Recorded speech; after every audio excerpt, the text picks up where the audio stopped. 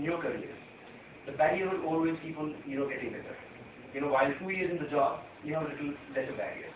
Four years or five in the job, you have a bigger barrier. When you're 10 years in the job, you have much bigger barrier. And when you're 15 years, you have got different barriers. So far, it was a personal barrier, two years personal barrier. You know, four years family barrier.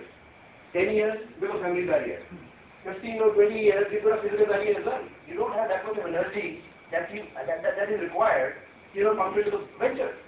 So you do not only have the family or a social barrier, you also have a physical barrier, which is very difficult.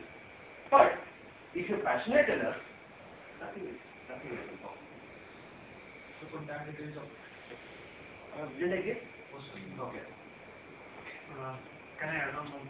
Yeah. What was the exact reason you uh, liquidated your first firm and started a new venture?